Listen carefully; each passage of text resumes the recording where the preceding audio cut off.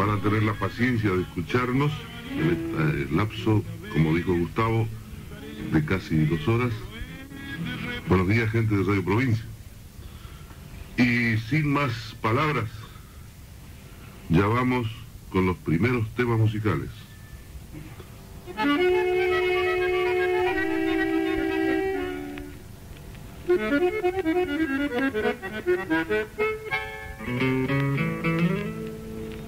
te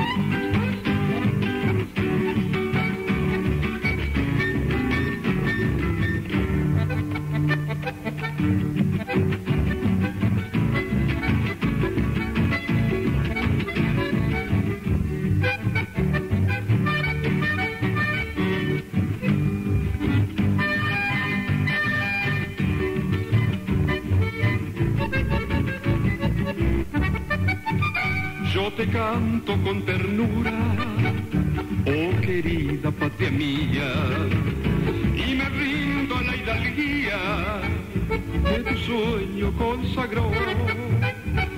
El espejo de mi patria es la luz de su memoria, es la ofrenda de su gloria que la historia nos legó. Es la voz de tu presente, argentina y soberana, la pureza más galana que en los cielos tremoló.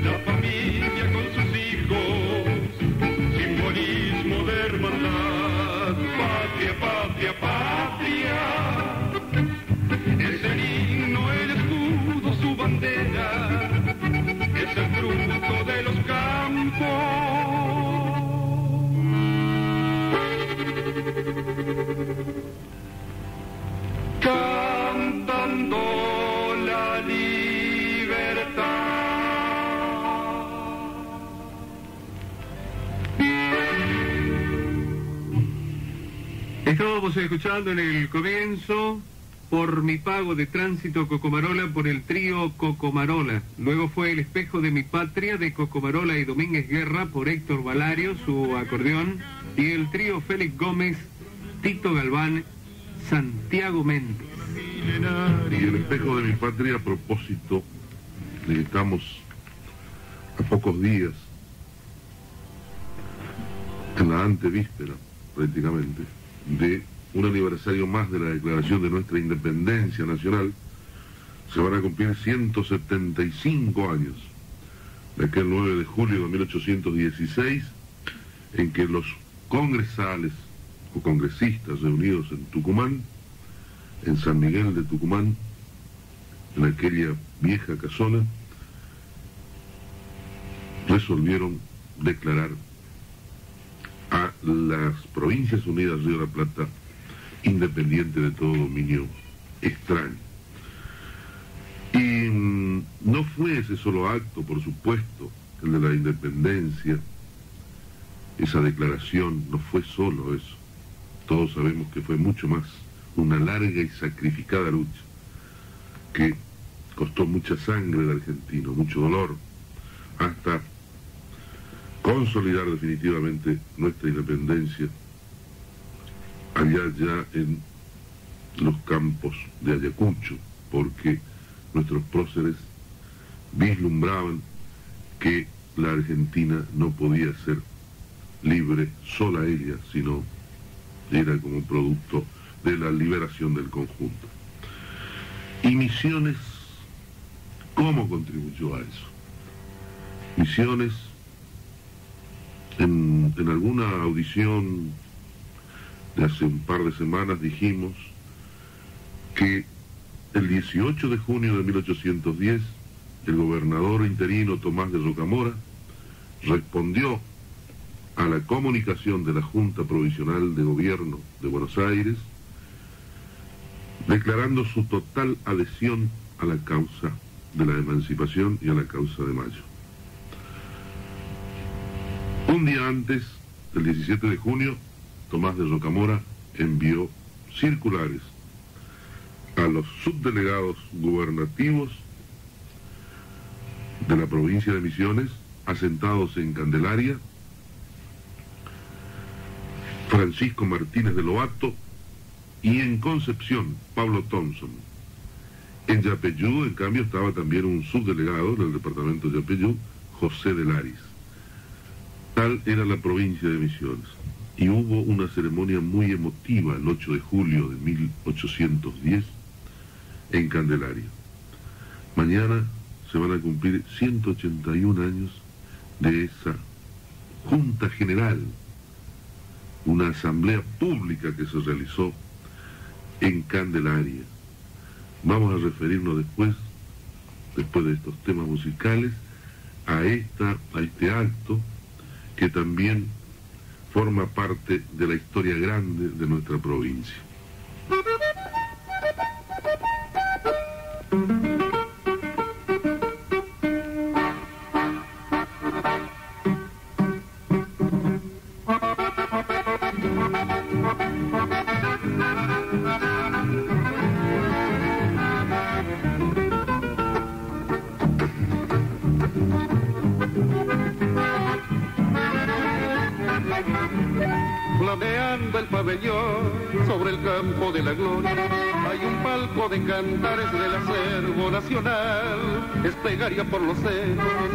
El alma de la historia, por los hijos que sostienen el altar tradicional, como el vino legendario del convento son presentes, entre nubes de palomas con la paz de su tañín, guardan ecos de victoria de mi patria floreciente, coronada de laureles que supimos conseguir. San Lorenzo, San Lorenzo, en tu nombre va el clarín, cruzando la cordillera de la. San Lorenzo, San Lorenzo, en tu campo de la gloria, ha nacido la epopeya de José de San Martín.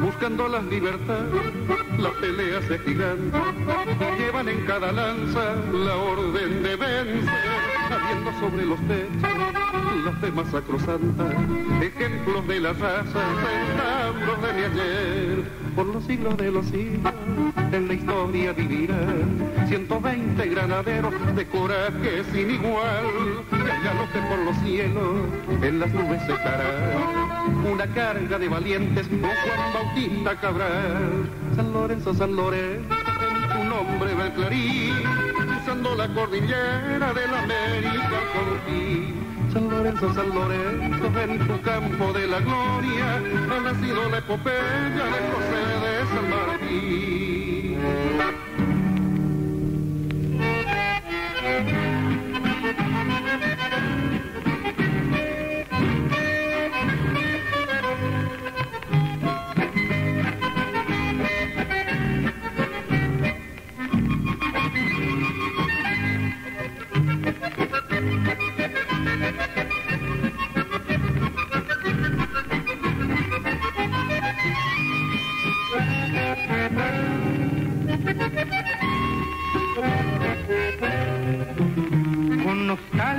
Emoción te recuerdo, Isla Cañete. Hoy te veo en mi retina adornando el Paraná. Que posadas te acaricia con la Virgen de Itacuá.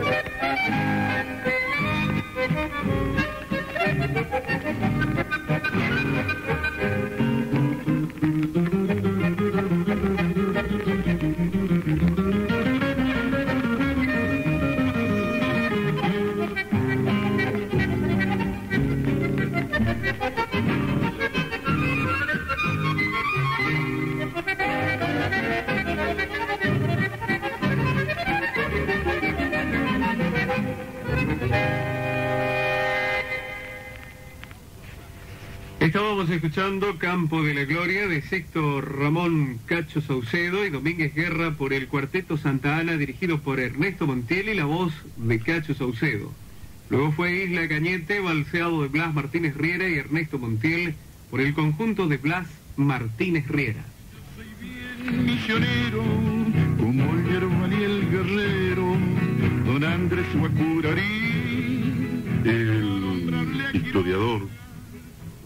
Casiano Néstor Carvalho dice que el 8 de julio de 1810, mañana se van a cumplir 181 años, el subdelegado de Candelaria, Francisco Martínez de Lobato, reúne en la sede de su gobierno a los corregidores, cabildantes y caciques de los pueblos misioneros a una junta general para tratar sobre los sucesos del 25 de mayo de 1810. Y allí vamos a, guiarnos de ahora en más por lo que dice el, el, Tratado de Historia de Misiones, editado por el Instituto del Profesorado Antonio Ruiz de Montoya. El acta de la Junta General que el subdelegado de Candelaria para el 8 de julio nos informa del procedimiento seguido para verificar la adhesión del pueblo misionero a la nueva autoridad del virreinato. Se reunieron, dice el documento, en la sala capitular del Ayuntamiento de Candelaria, el corregidor y cabildo de ese pueblo, los corregidores, individuos de cabildo y caciques principales de los pueblos de Santa Ana, Loreto, San Ignacio Mirí, Corpus, Jesús, Trinidad e Itapúa. El subdelegado Francisco Martínez de Lobato leyó luego los documentos enviados por el gobernador Rocamora que incluían una copia de la circular de la Junta Provisional Gubernativa, es decir, haciéndole saber de los sucesos del 25 de mayo de 1810. El intérprete los leyó luego en guaraní.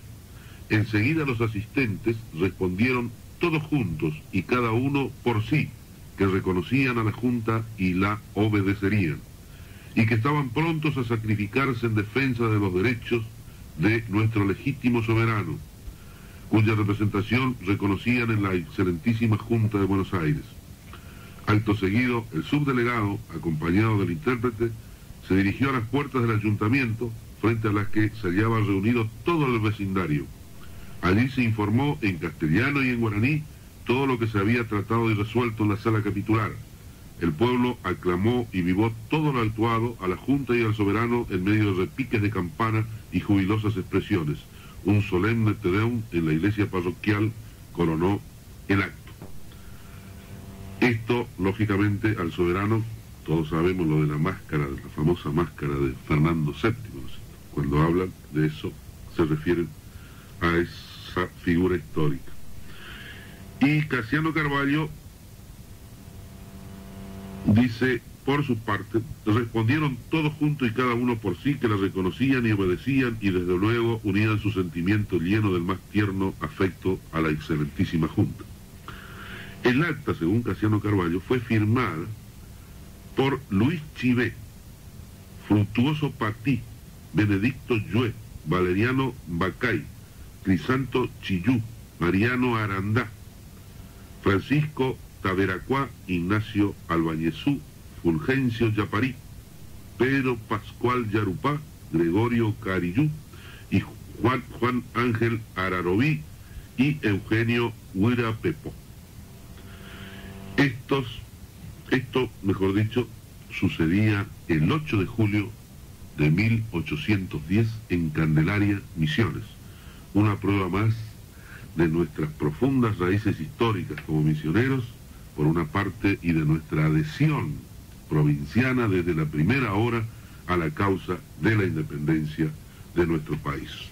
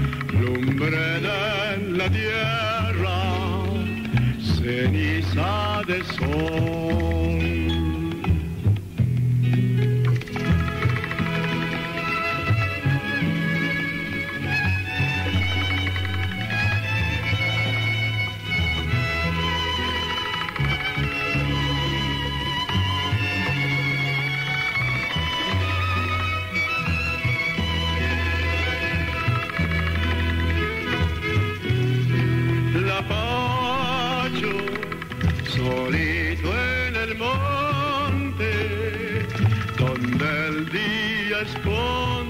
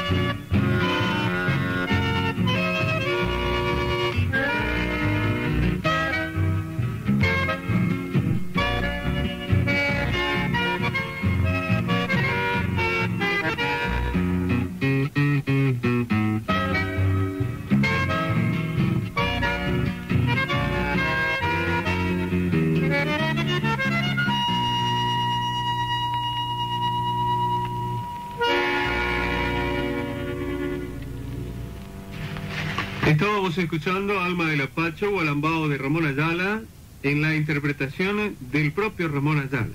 Bodas de Plata de Isaco Abitbol y Ernesto Bafa por Isaco Abitbol y su conjunto. Bueno, antes de ir al corte de las 12 y 30, eh, también por una parte que nos empiezan a llamar los amigos, evidentemente para no sentirnos en soledad acá en una isla, sino que nosotros acá, toda la gente que estamos en este momento, somos conscientes de que estamos compartiendo la mesa grande de la audiencia, la mesa grande de la región, con mucha gente a la, a, a la que creemos y que esperamos también que nos quieran a nosotros. Y recién nos llamaba, por ejemplo, el amigo Cacho Dorrego. Muchas gracias por su palabras de aliento, su permanente palabra de aliento. Mencionemos ahora eh, a los integrantes de la plantilla de profesionales de la radio que nos están acompañando en esta audición.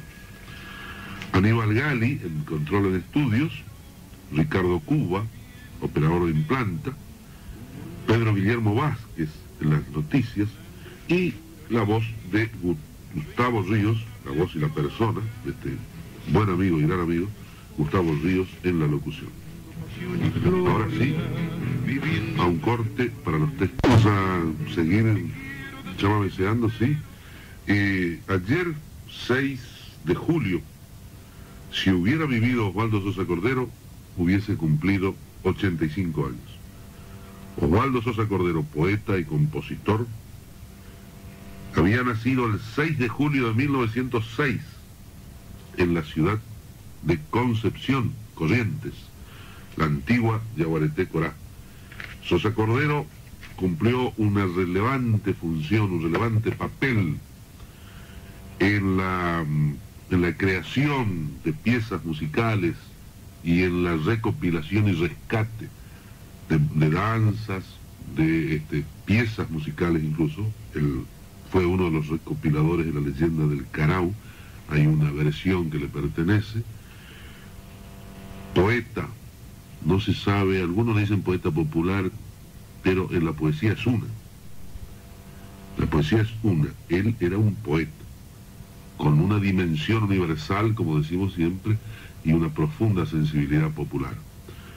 Fue el organizador, por ejemplo, de la Dirección de Cultura de la provincia de Corrientes, allá por el 52-53, cuando quiso escenificar una danza, cuando quiso llevar al escenario una danza, el chamamé concretamente, y el, toro, no, no encontró bailarines de chamamé en las academias de danza de la ciudad de Corrientes.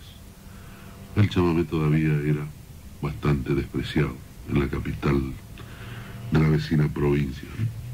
Y entonces tuvo que recurrir a algunos bailarines de las pistas suburbanas y de los pueblos.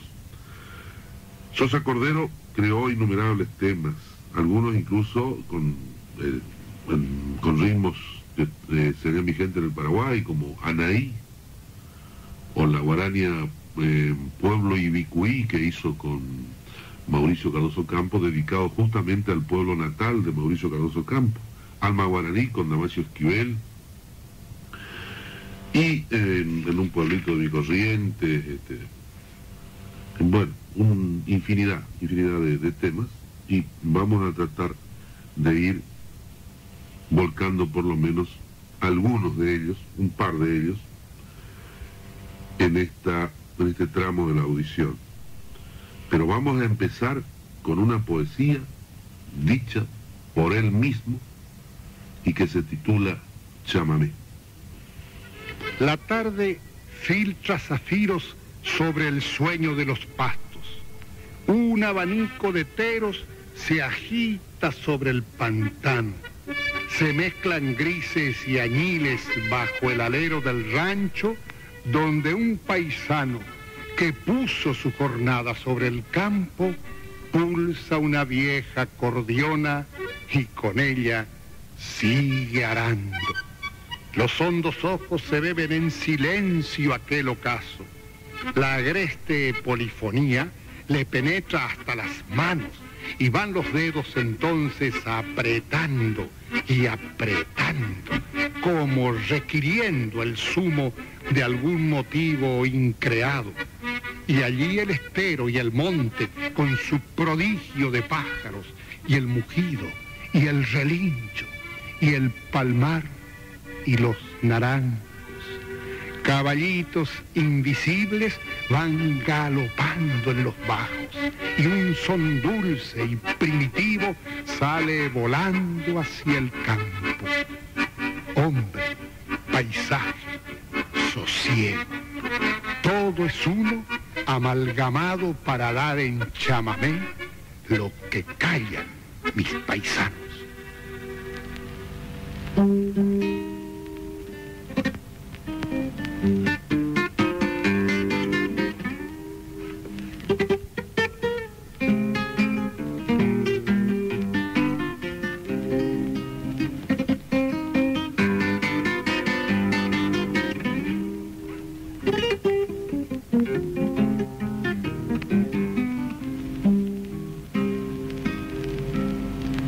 Tropeando por todito tus caminos taragüí. Fui dejando legua a mil recuerdos por allí. Desde Sauce, desde Esquín, allá en el Guayquiraró, se habrá atravesado pa por ese pueblo de Ituzaingó. Cuántas veces tropear acampé en el Miriñal. Recosí Se haya enriquecido de todo cuanto contiene, de fraterno, de afectivo. El chamigo es algo más que lo común de un amigo. Es esa mano que estrecha con impulso repentino. Es la voz que en ocasiones nos hace como de estímulo, dándole fuerza al elogio. Estuviste bien, chamigo. O la advertencia oportuna cuando en algún trance crítico alguien se acerca y nos dice muy formal, ya que chamigo. O el corazón hecho hueco cuando brindamos asilo, diciendo sencillamente, esta es tu casa, chamigo. O el reproche que nos brota cuando exclamamos heridos por el filo de una ofensa. Pero esto sí que no, chamigo. Hasta en ello, hasta lo ingrato, la expresión tiene un sentido de cuño tan puro y noble que le da valor de símbolo. Un símbolo de amistad muy propio del correntino. Pero así, cordial y franco, no crea usted que el chamigo se le prodiga a cualquiera. No, señor. Este es un rito que se practica tan solo cuando se haya reconocido el real afecto de aquellos que se consagran amigos. Por eso, sin prevenciones, confíe en el correntino cuando corazón en mano se le entregan un chamigo.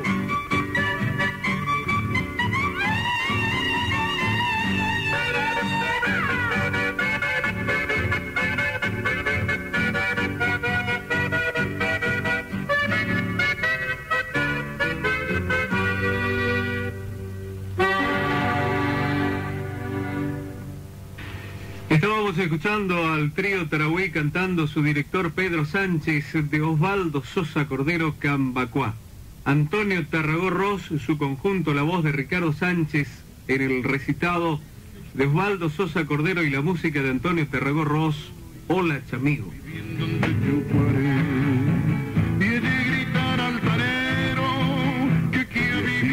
hemos recordado, hemos evocado a Osvaldo Sosa Cordero, quien estuvo muchas veces en Posadas, amigo de don Lucas Braulio Areco, por ejemplo, y de quienes organizaban aquellos viejos festivales del litoral. Hay por ahí algunas fotografías. Una vez estuvimos, por ejemplo, en la casa de don Humberto Pérez, allá cerca del ex tiro federal, y compartiendo con este, este poeta, músico, que además hacía gala siempre de muy buen humor. Bueno, yendo a otro, otro aspecto de nuestra audición, recién nos llamaba Pepe Duarte, músico, cantor. Nos decía que está de cumpleaños su hermana Etelvina Duarte y que la saludan en este día, además de Pepe, también China, y su, mamá Ángela. En Villa Urquiza, en la casa de, de Villa Urquiza, dice que están aprestándose a comer un riquísimo baita. Y hablando de, guaraní, yo estoy medio, medio tipa A, ¿no? Pero no vayan a pensar mal. Este, estoy así con la, la voz un poco tomada porque estoy resfriado, ¿no? Porque este, tipa A, le dice el paisano, ¿no? Cuando por ahí ya está medio entonado el, el hombre, ¿no? Y empieza a hablar por, por la nariz. Entonces ya está medio A, eso sea, ya está con la nariz tomada. Eh, vamos a escuchar ahora cómo cantan al pescador dos poetas y músicos misioneros. Uno misionero de la Argentina, Ramón Ayala, y el otro Noel Guaraní, misionero del Brasil. Ambos de la región misionera, lógicamente. Uno pinta al pescador en su hábitat en el río Paraná, el otro en el río Uruguay. Uno en castellano, el otro en portugués, y ambos en ritmo de chamamé, pero no son ellos los que cantan, sino otros artistas. Qué mezcolanza esta, ¿no? Pero escuchando, escuchando los temas vamos a entender mejor. Adelante. Cabellera de betún y diente de palo santo, la boca como un quebranto y piel de piragua azul. Lamento de Urutaú, su voz es como una queja,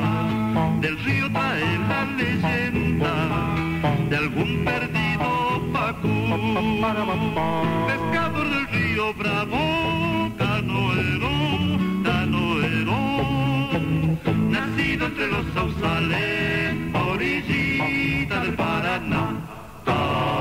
Tomador de mate amargo a la del lucero, hace noche sobre el agua y defiende su libertad. Partir, reír, bogar,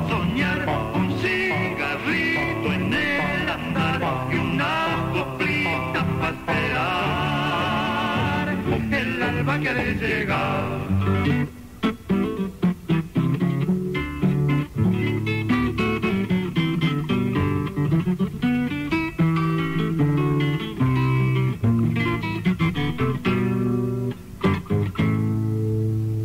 lamento de Urutaú,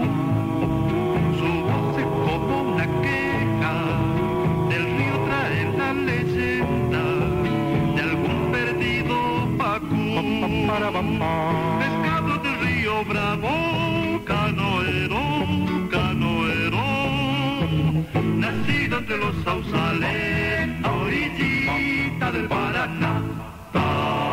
Tomador de mate amargo, a la lumbre hace noche sobre el agua y defiende su libertad. Partir, reír,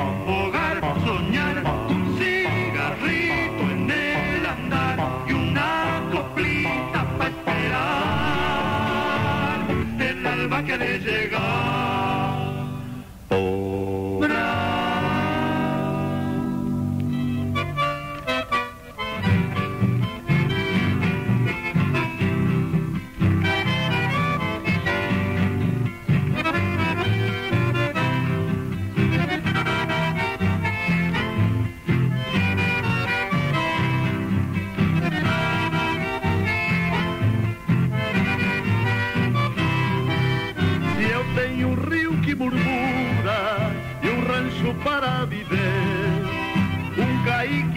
pescador, un amor para querer, e o canto da passarada para alegrar o amanhecer, e o canto da passarada para alegrar o amanhecer.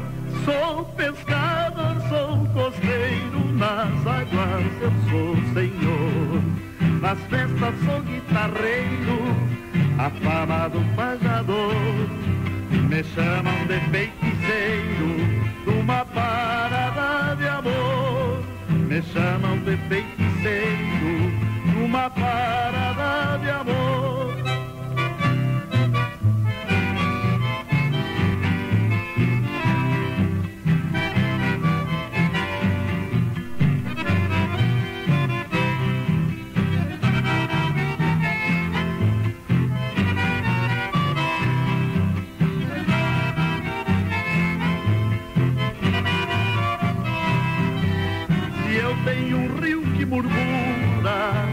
rancho para vivir, un caiqui pescador, un amor para querer, e um canto da passarada para alegrar o amanhecer, e o canto da passarada para alegrar o amanhecer.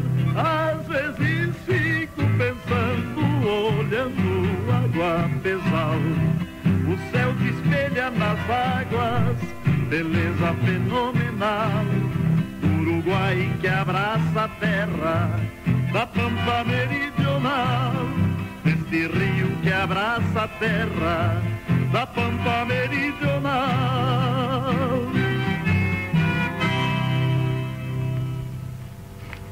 Estábamos escuchando Retrato de un pescador de Ramón Ayala por Los Trovadores, Sueño de pescador de Noel Guaraní por Senair Maicá y su conjunto.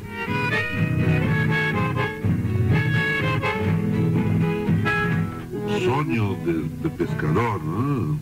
de Noel Guaraní, un poeta y músico gaullo, riograndense de la zona misionera, chamamecero ¿no? Y nos hacen problemas ellos, porque el chamamé también está allá en el Brasil. Y así como los trovadores que escuchábamos ese retrato de un pescador de Ramón Ayala, los trovadores en ese momento eh, se integraban con Miguel Ángel Aguirre, primer tenor, segundo tenor Carlos Pino, barítono Carlos Freddy y Ramón Catramboni en la voz del bajo, ¿no? Y santafesinos, chaqueños, y así andamos acá en la región.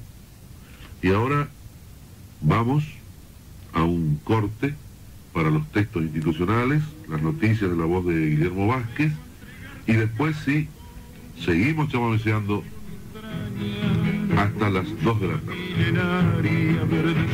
Gracias Gustavo. Eh, y hace un par de días, el viernes, fue el cumpleaños de José Raúl Ayala, chino Ayala. Este momento va a estar preparándose para ir a sufrir a la tribuna de la cancha Mitre porque juega Huracán él es, es jugador, está un poco inactivo ahora, pero hincha de Huracán, fana de Huracán, va y sufre en la tribuna. Y pasado mañana, 9 de julio, cumpleaños de Julio Manuel Mayol. Este, un saludo especial nos piden para la señora Miguela Domínguez del lote número 2 de Santo Pipó, Misiones, de parte de su esposo Miguel Ramírez, sus hijos Delia, Mabel, Angélica, Carlos, Héctor Antonio, Miguel y además Nilda Reversac y la familia Valenzuela Yum de Posadas por el día de su cumpleaños. Y nosotros por nuestra parte también saludamos con este próximo tema al amigo Beto Silva de Posadas, un tema de su preferencia.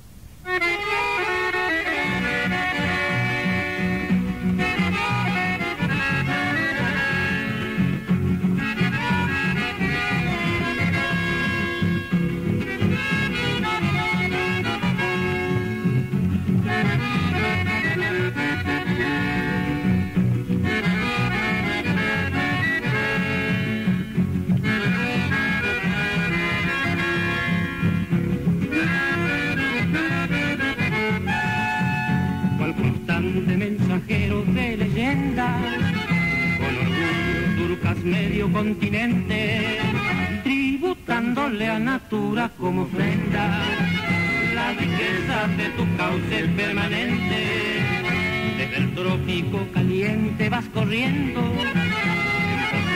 de la playa ya distante, son tus aguas remolinos palpitantes hermanados a tres pueblos van uniendo.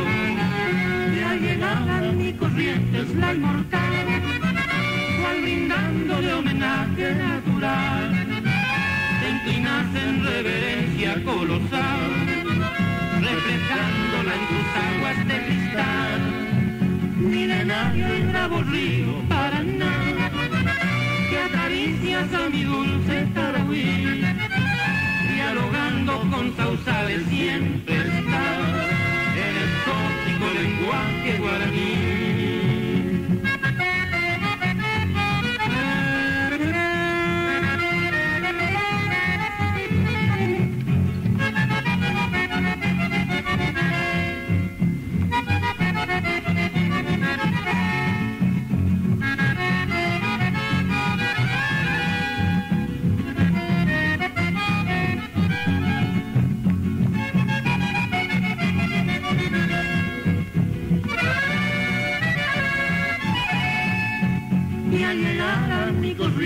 Es la inmortal, cual brindándole homenaje natural, te inclinas en reverencia colosal, reflejándola en tus aguas de cristal, milenario y bravo río Paraná, que acaricias a mi dulce Tarahui, dialogando con sausales siempre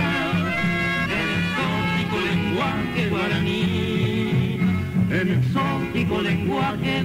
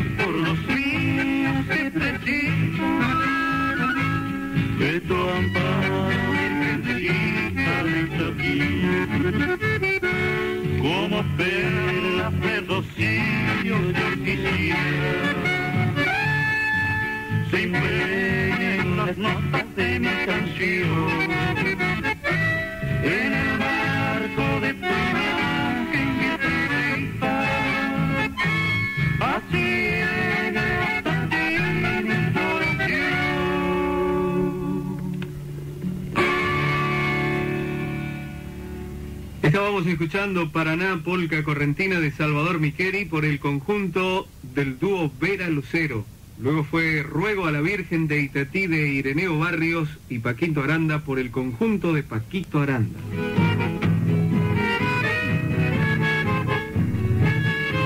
José Aranda, ¿no? Paquito, bandoneón, buen bandoneón, del Paso de los Libres, quinta sección, un busito.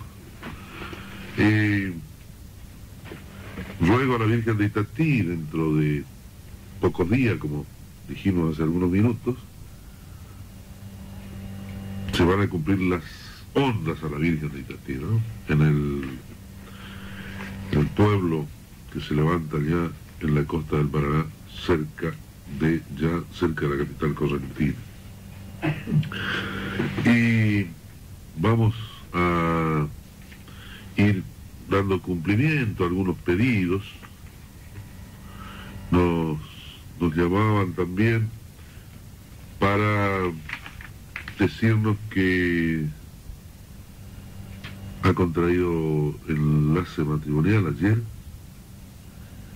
el señor Horacio Negrete y con la señorita Sandra Michite. Y le saludan, lógicamente, deseándole toda la aventura que sea posible. Su jefa y compañeros de trabajo del Centro de Cómputos del Poder Judicial.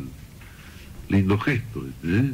Acordarse de saludo y no tener ningún prurito para hacerlo a través de una pieza folclórica, una pieza popular nuestra, bien nuestra, bien auténticamente argentina y popular. No por ahí porque a veces se desvía un poco la cosa, ¿no? Y se van para otros lados, se van para otros ritmos. Y suele suceder. Vamos ahora a un chamamé motivo popular. Por ahí figura ofrenda a una novia correntina. Yo modestamente creo que es ofrenda de una novia correntina. Y es una pieza muy bella. Acá tenemos la interpretación de Ramón Méndez con la voz de Carlos Grismao. Es una pieza muy bella. Y se refiere evidentemente a la guerra de la Triple Alianza, porque hay unas mezclas de palabras muy propias del Paraguay también. Al valle me voy, dice, al valle, ¿a qué valle? Los paraguayos le dicen mi valle a su lugar, a su lugar de donde, donde habitan, donde viven, también a su solar natal, mi valle. Y bueno, dice, este, bueno, adelante Aníbal Gali con esta, con este chamamé, sin más, sin más parlamento, y vamos a escucharlo atentamente.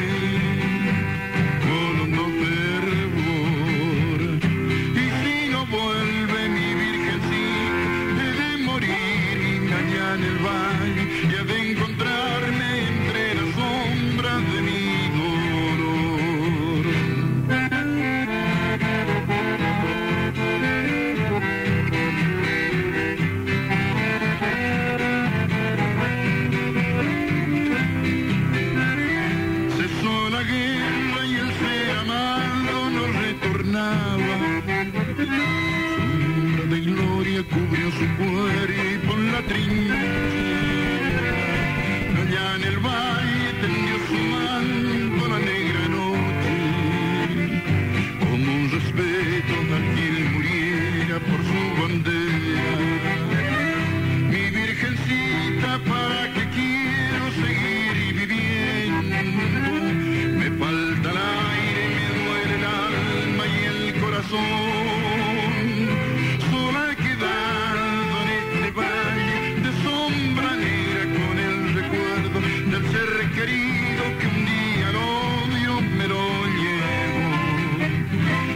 Al valle me voy, Virgen de Itati, mi ofrenda de qué, al pie de tu altar, mi cabellera, tesoro mío, sacrifiqué,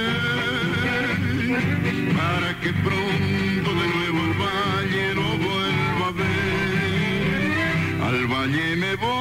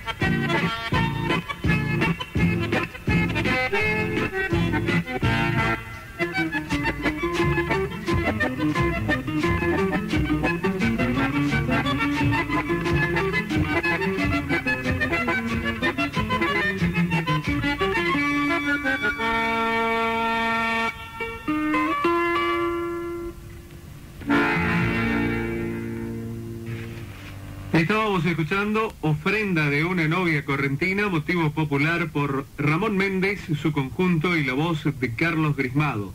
Yotis para Amar de Blas y Gregorio Martínez Riera por el conjunto de Blas Martínez Riera.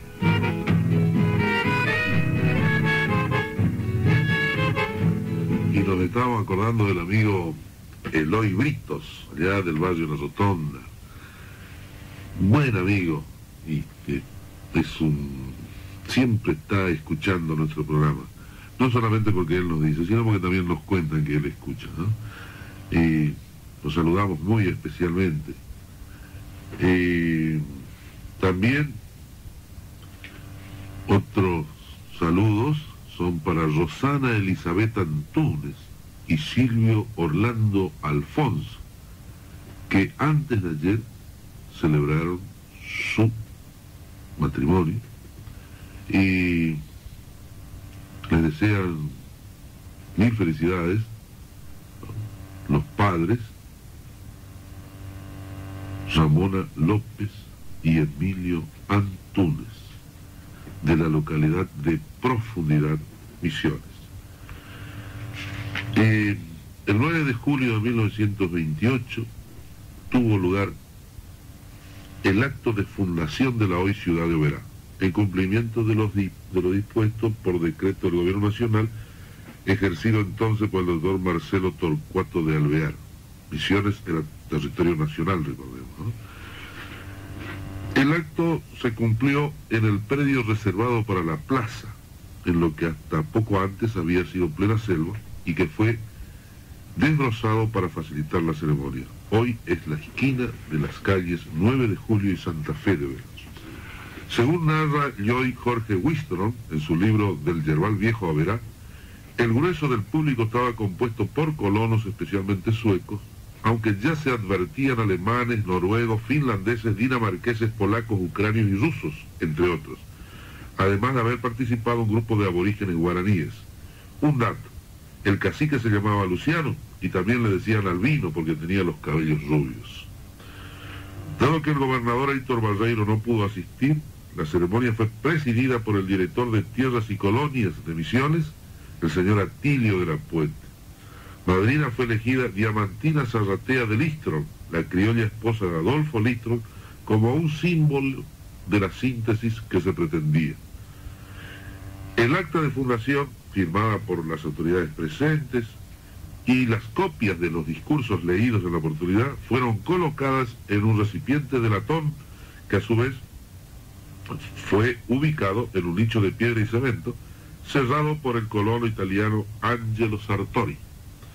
Estos elementos nunca fueron hallados y es probable que con el movimiento de suelo realizado para construir la plaza de Oberá, acaecida el 9 de julio de 1928, si bien la colonia ya estaba habitada desde por lo menos 15 años antes. Con este próximo chamamé saludamos a Rodolfo Teñuc, buen amigo, acordeonista popular, allá del barrio del Parque Adán, que hoy está de cumpleaños. Según cuenta una leyenda de mi tierra correntina, la calandria era una guaina muy cantora y peregrina. Ambulando por los montes, iba la guaina cantando y alegrías y canciones a su paso iba dejando. Por su canto dulce y puro, Dios premió luego a esta china transformándola en calandria de mis selvas correntinas.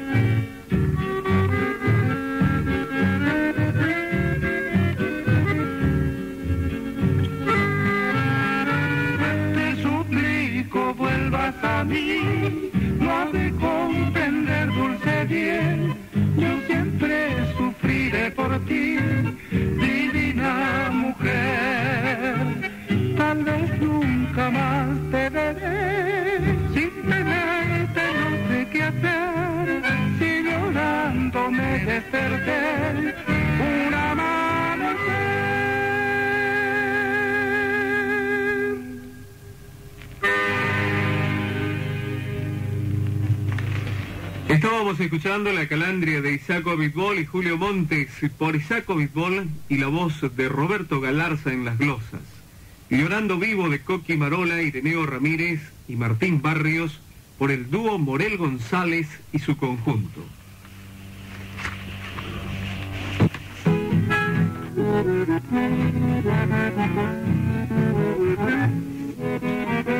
Estábamos recordando la fundación de Oberá. ¿Por qué el nombre de Oberá? Sigamos también en esto a Joy Jorge Wistrom, historiador de, de quien recuerda que el cacique de este nombre, es decir, Oberá, vivió en el siglo XVI, en los años del 1500 entonces, en Tierras del Plata. Convertido al cristianismo desde muy pequeño, se erigió luego en una especie de redentor de su pueblo. Derrotado por Juan de Garay, consiguió escapar en compañía de su instructor católico, Fray Martín González, ignorándose el destino final de ambos. Varios son los autores que se refirieron a este personaje. Uno de ellos es Ricardo Rojas, quien lo menciona en su libro Blasón de Plata. El coronel Melitón Díaz de Vivar, quien a la fecha de dictarse el decreto de creación del pueblo y consiguiente imposición del nombre Oberá, era director nacional de tierras y colonias, asimismo era un admirador de Ricardo Rojas, depurado escritor, autor del Santo de la Espada, docente y también un pensador doctrinario de la Unión Cívica Radical. ¿Acaso Díaz de Vivar haya sido influenciado por Ricardo Rojas en su referencia al legendario aborigen guaraní, raza esta que antaño tenía sus dominios en esta región? Y de allí entonces la imposición del nombre de Oberá. En cambio, Wistron no concede asidero a una versión que habla de que Oberá se originó en una expresión guaranítica, Eretáverá, pronunciada circunstancialmente por Aristides Ruiz, un primitivo habitante de la hoy segunda ciudad de la provincia de Misiones. Y vamos a reiterar un saludo de parte de Ramona López y Emilio Antunes de la localidad de Profundidad Misiones, a Rosana Elizabeth Antunes y Silvio Orlando Alfonso, con motivo de haber contraído enlace matrimonial el 5 de- del corriente mes. Y vamos a hacerlo enseguida con algunos chamamés que es conveniente ir prestando atención para luego concluir en cómo fue evolucionando el canto chamamecero, como los dúos, los dúos tradicionales, después venían ya los juegos de voces, tríos, y por ahí también algún cuarteto vocal. Mañana, mañana sí, digo bien, está de cumpleaños el amigo Duma Duarte. Nos saludan su esposa, Titi Gellner, nuestra amiga también, y sus hijos. Y nosotros sumamos nuestro saludo para este buen amigo con este chamamé.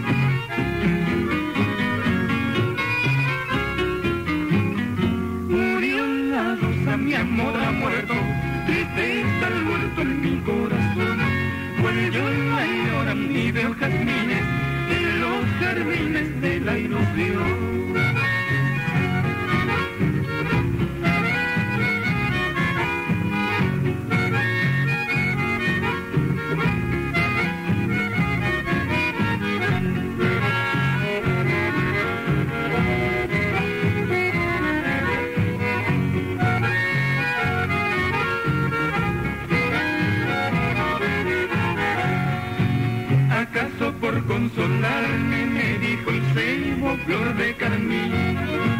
Lleva mi flor a tu pecho si ya no hay rosas en tu jardín. Lloro el rocío al ver mis penas, blanca azucena, flor de jazmín.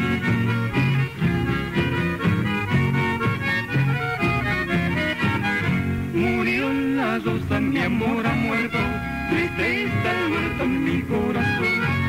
Cuando la lloran y veo jazmines en los jardines de la ilusión.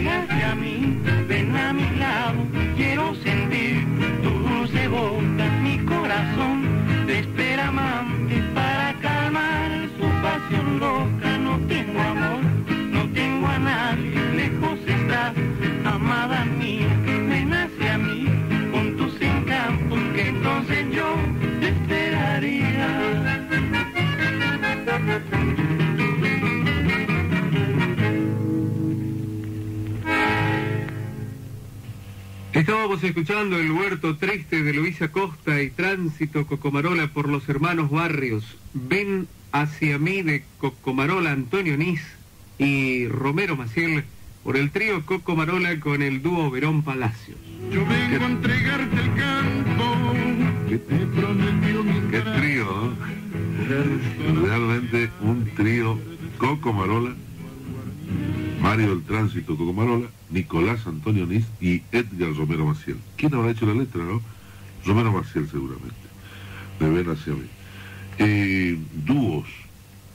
El dúo de los hermanos Barrios, dúo de Verón Palacios, eh, tradicionales, formas de cantar, el descenso de, algunos dicen que es de la técnica coral, ¿no? A al dúo popular. Y ahora, mientras nos hacemos eco de un saludo de Oscar Álvarez a Mario Ábalos, vamos a escuchar otra forma de canto también, un dúo de acá Salvador Miqueri, con algunos años, lógicamente, haciendo el dúo con Alfredo Almeida, aquel de que cantaba con Coco Marola, después es su propio conjunto, el Cáceres Almeida. Alfredo Almeida y Salvador Miqueri. Salvador Miqueri, argentino lucero también, con Alfredo Almeida, en este chamamé.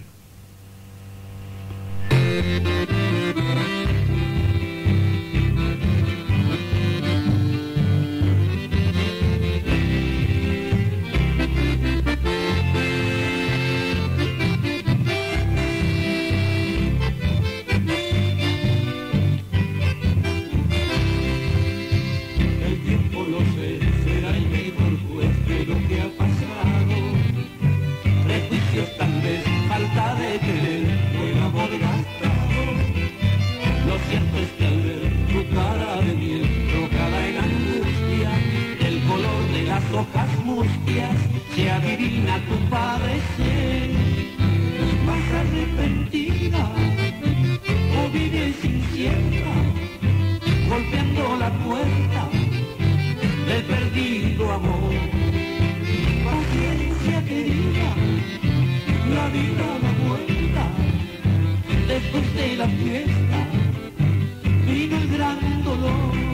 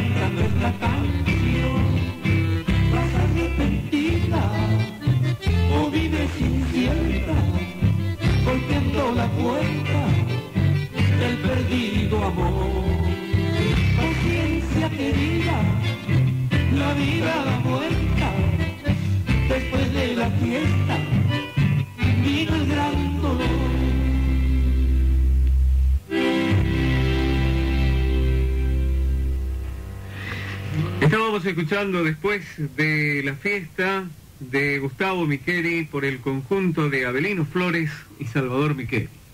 Y vayan aprestando sus grabadores también, otra vez, hoy ya les había recomendado con Cambacuá, de Pedro Sánchez, por Pedro Sánchez mejor dicho, el tema es de Osvaldo Sosa Cordero.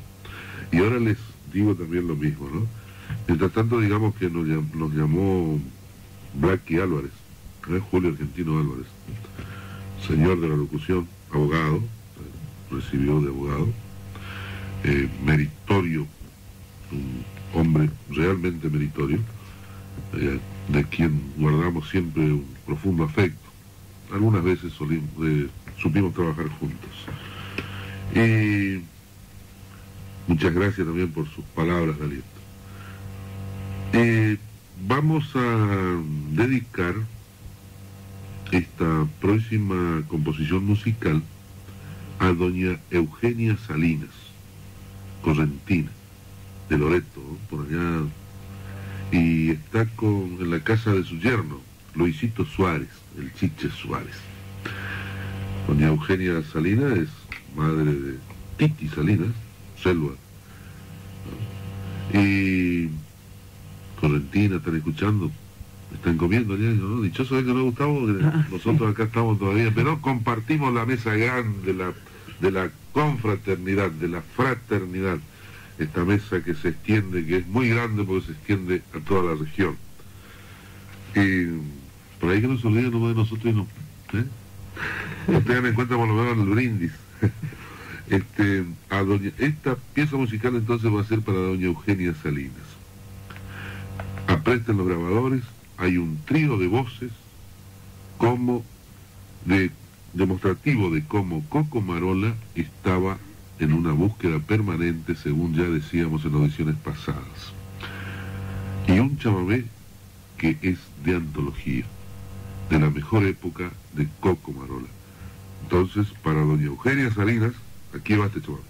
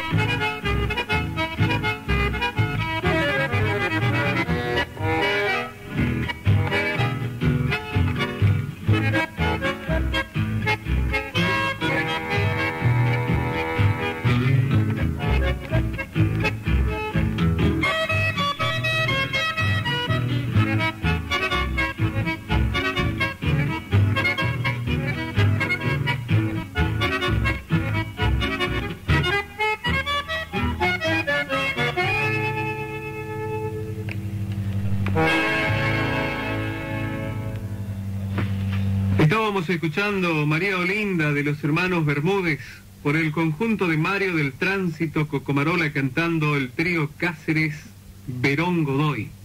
La Yapa de Isaco Bisbol y Antonio Gian Antonio por Isaco Bisbol.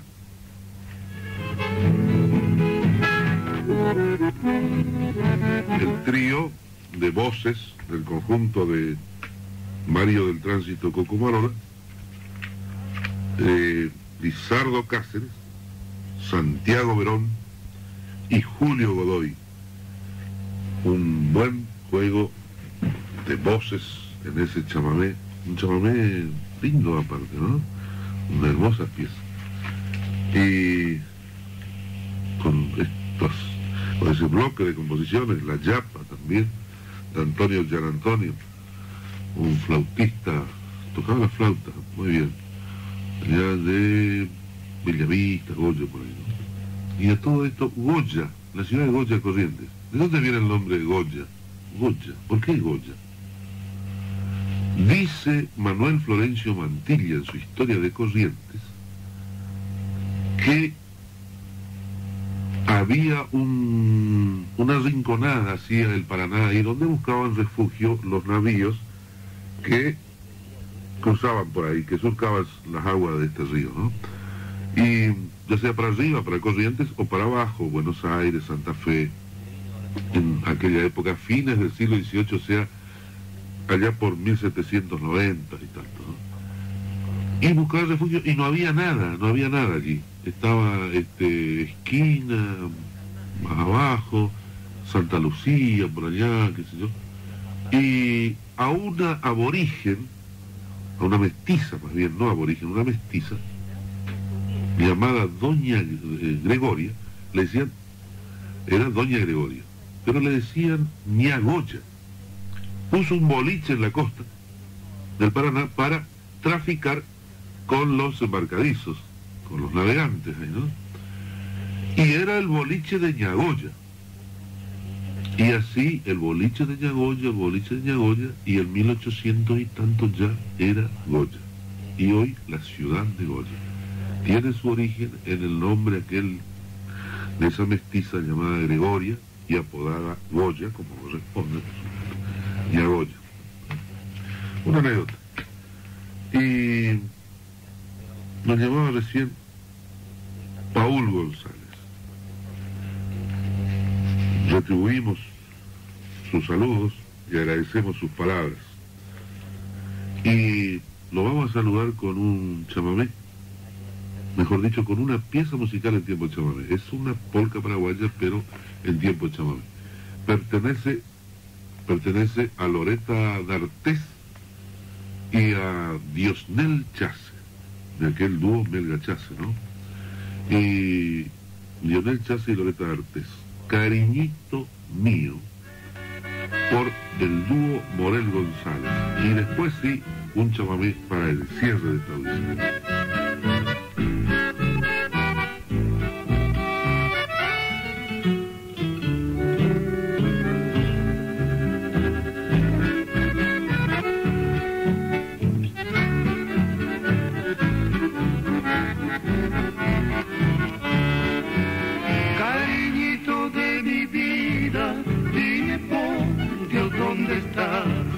Regresa pronto a mi lado, tu ausencia me matará.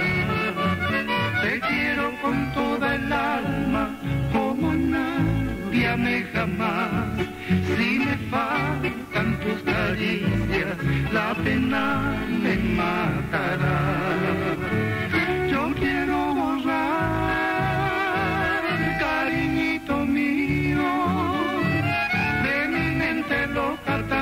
Triste recuerdo que me hace penar.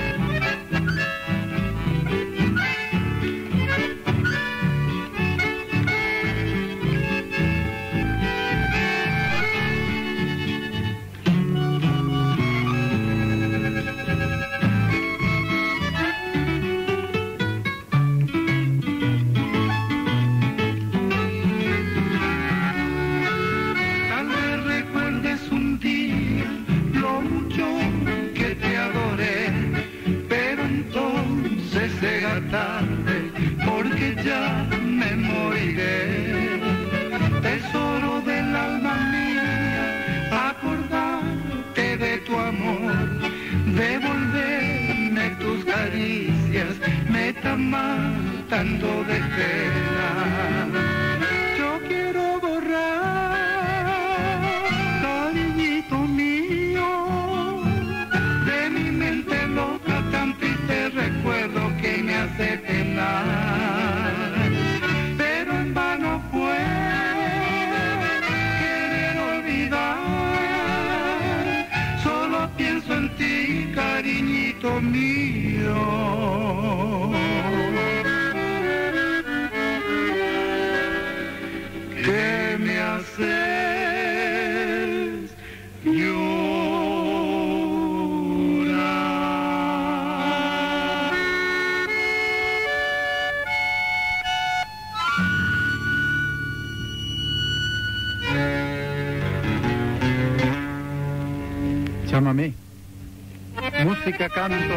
Mi gente, alma y voz de mi pueblo. Pueblo.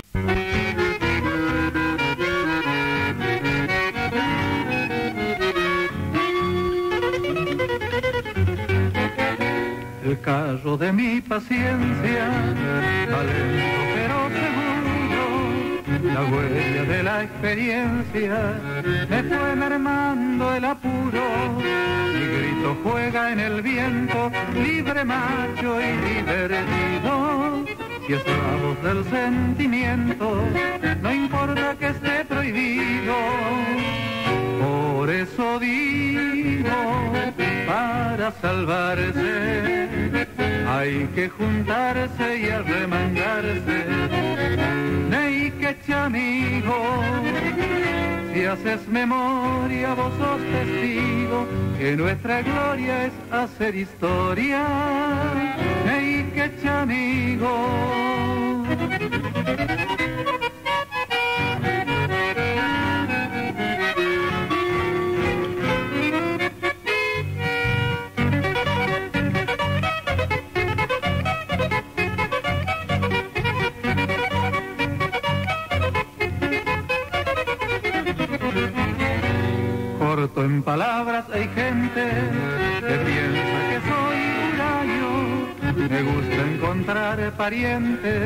No me hallo si soy extraño. Tengo mi música propia y tengo un baile que es mío. Yo soy así, no soy copia, de lejos vengo, soy río. Por eso digo, para salvarse, hay que juntarse y arremangarse.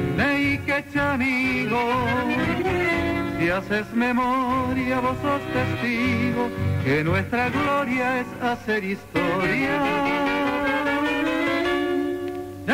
Que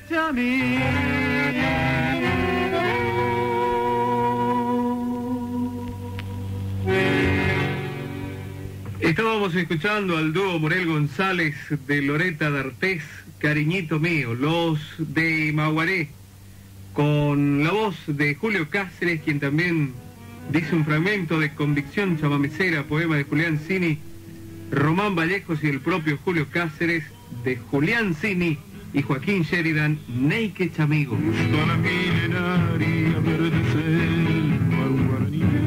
Bueno, hasta aquí nomás.